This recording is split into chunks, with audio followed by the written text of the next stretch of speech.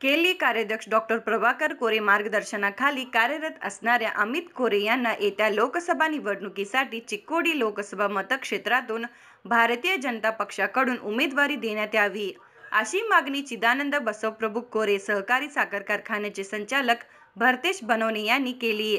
अंकली येथील डॉक्टर प्रभाकर कोरे क्रेडिट सोसायटीच्या सभागृहात मंगळवारी झालेल्या बैठकीत बोलताना बनवणे म्हणाले डॉक्टर प्रभाकर कोरे यांचे सुपुत्र अमित कोरे यांनी सामाजिक शैक्षणिक आरोग्य औद्योगिक क्षेत्रात वडिलांच्या मार्गदर्शनाखाली काम केले आहे. नवी दिल्ली येथील साखर महामंडळाचे माजी अध्यक्ष व विद्यमान सदस्य असून कोरे कारखाना व शिवशक्ती कारखान्याचा विकास व विस्तारीकरण त्यांच्या नेतृत्वाखाली यशस्वीरित्या सुरू आहे. त्यांच्याकडे सर्व क्षेत्रातील अभ्यास आणि दूरदृष्टी आहे. युवा नेतृत्वाला प्रोत्साहित करण्यासाठी अमित कोरे यांना उमेदवारी दिल्यास पक्ष हिताचे ठरेल असे त्यांनी सांगितले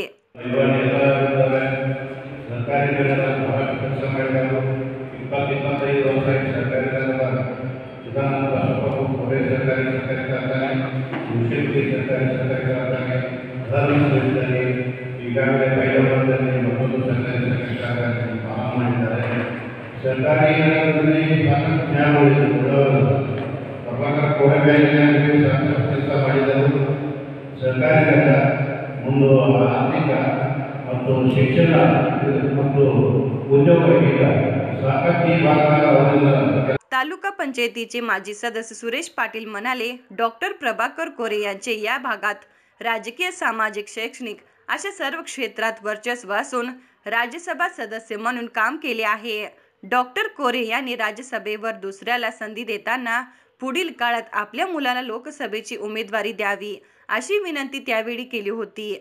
डॉक्टर कोरे यांच्या मार्गदर्शन व नेतृत्वाखाली या भागातून अमित कोरे यांना उमेदवारी देण्यासाठी राज्यातील भाजपच्या नेते मंडळींची भेट घेतली आहे. अमित कोरे यांनी जनशक्ती फाउंडेशनच्या वतीने या भागात चांगले काम केले आहे. साखर उद्योग व इथेनॉलबद्दल त्यांचा मोठा अभ्यास आहे. पूरस्थितीत पूरग्रस्तांसाठी आहार व निवारा जनावरांसाठी वैरण व पाण्याची सोय केली होती. आम्ही सर्व भाजपचे एकनिष्ठ असून पक्षाकडून उमेदवारी मिळावी अशी मागणी आहे असे सांगितले.